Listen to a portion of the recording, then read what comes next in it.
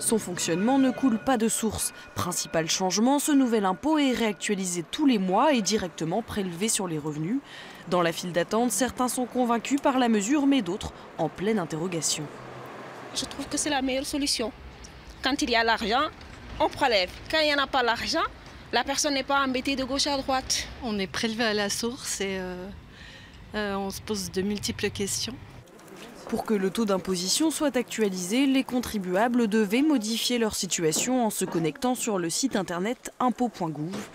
À l'ère de la logique d'une administration tout numérique, nombreux sont les gens à se déplacer pour parler à des conseillers.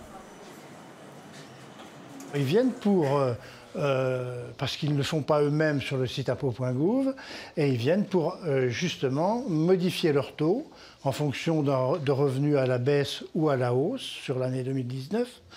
Euh, soit pour déclarer une situation familiale qui a évolué et qui doit être pris en compte pour le taux du prélèvement. Depuis janvier, les contribuables défilent dans les centres d'impôt pour rectifier notamment les erreurs de taux.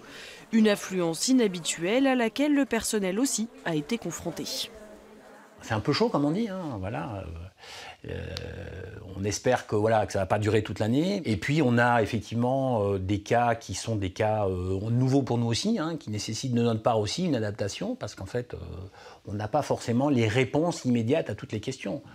Malgré la mise en place d'un numéro spécial pour aider les contribuables, en janvier, 9000 personnes se sont rendues dans les centres des impôts du Doubs.